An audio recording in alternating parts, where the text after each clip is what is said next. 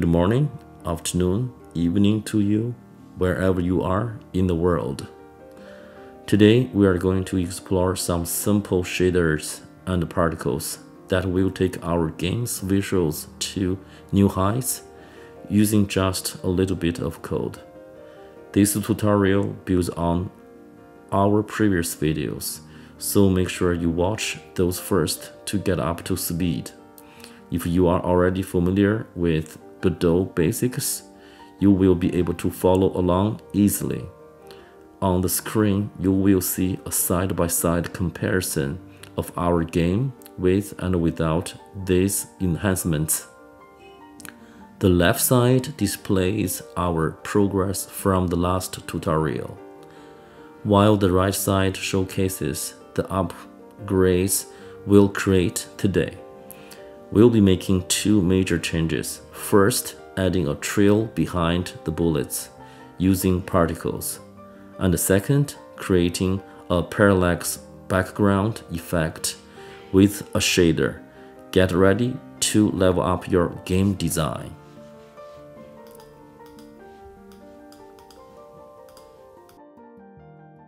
Before diving into the implementation details, let's first talk about shaders and particles. What is a shader? Shader is like digital paint brushes that help you change how things look in your game.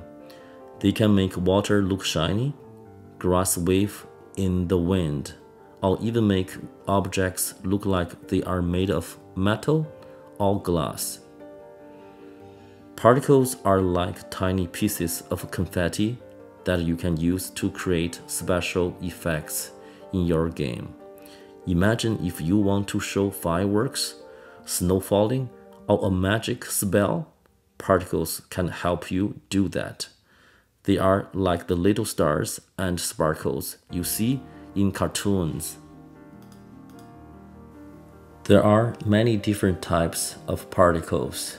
Today we are just going to use a image particle. So let's first look at the picture. So this is the image we are going to use. As you can see, we have three rows and four columns. They are just stars.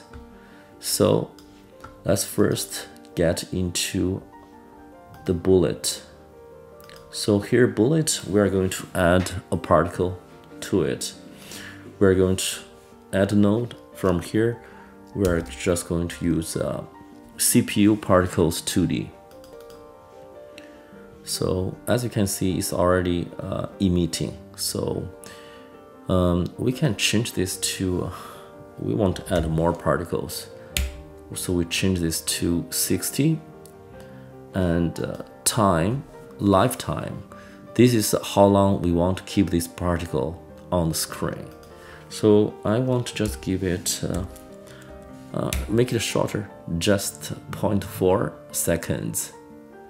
And uh, the randomness, we can change it to anything. So remember, this is about experiment. You can change it to a value that is to your taste. So I will just give it 37. So here the drawing drawing here we have a texture. This is where we can specify an image. So I will just drag the picture and put it here. Uh, let's not worry about how it looks for now. So let's go to the emission type. Emission type here we are going to use a sphere. And um, for the radius we are going to use uh, we just use 20 for now as you can see, this is just too big. Uh, we are going to change that next. So we are going to go to scale. And we're going to give it 0.1 and see. Okay, we change the X and also, okay, we change the main. We also want to make the, the max to have the same value. Now you can see it started to look like something we might want. So here we can change the animation speed. And we give one for both min and max. And offset we are going to give it the same value. Uh, speed curve that's uh, we can create a curve so we can have better control over the speed. Uh, let's try it. Let's add a point. We drag here we can add another point uh, maybe here and uh, that should do it. We're just going to try it out. If we don't like it we can always change it back. Okay then we are going to the texture. So texture uh, sorry we're going to go to uh, the material. So this is where we actually control the animation. First let's add a canvas item material. Then we click onto it. So as you can see we have a particles animations. We enable it. From here you can see it tells us, us to specify how many images on the uh, horizontal how many columns we have. So we have in our case we have four columns and v3 means how many rows? We have three. And uh, do we want to um, loop this animation? We see yes. Now you see it started looking better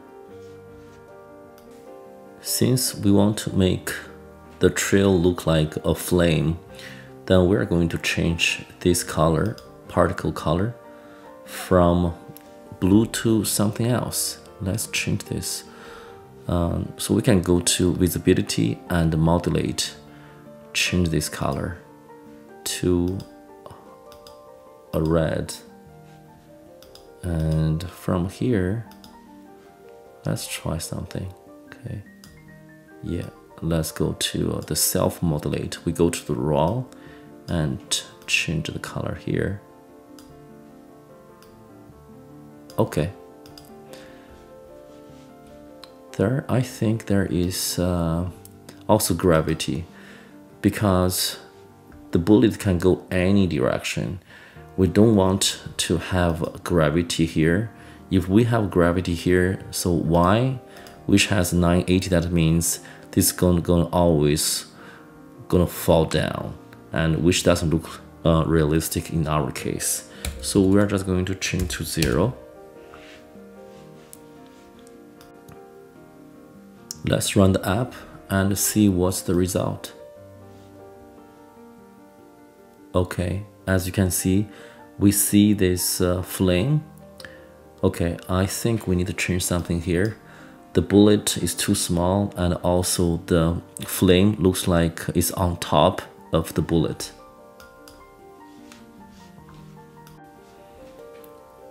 Let's go to rotator and the script. So we have a radius. So let's change it here. Radius we give it 20 default is 10 now let's run this. Okay now you see it's, it's bigger. That's one thing we fixed. Let's go to the next thing. From the visibility tab we have uh, show behind parent. So when we enable this this particle will be uh, showing behind the bullet. And also I want to spread, I want to change the direction a little bit more. So I can come to the direction and spread here, I can change the value to something else. I might just change to 67. Yeah. So now let's run one more time. So now you can see the trail is behind the bullet and uh, it's kind of get the result we want okay uh, let's add a cooldown timer for the rotator so that it will stop shooting uh, every once in a while so let's add a timer I will call it cool down timer. Go to node. I'm going to add a, a timeout event. Here I'm going to introduce a variable called uh, enabled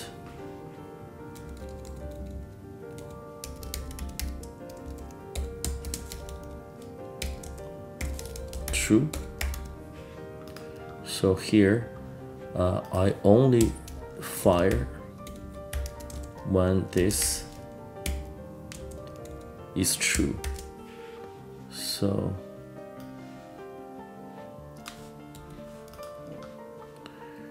here I'm going to do it enable equals not enabled. Okay, so here we can change the value. Uh, we are going to auto start. Maybe every three seconds I will stop.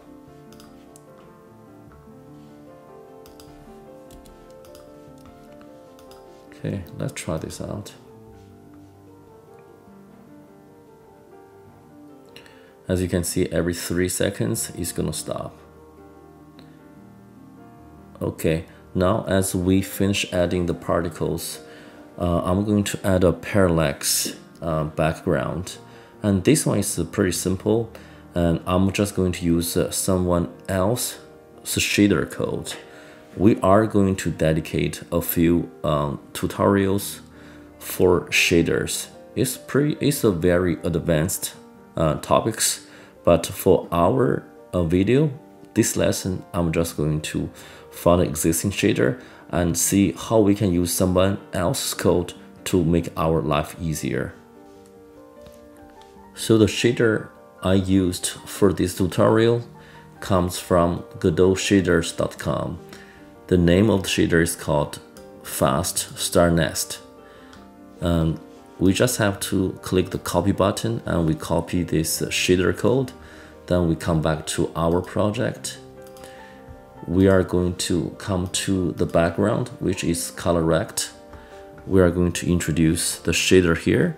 We come to the material tab and create a new shader material.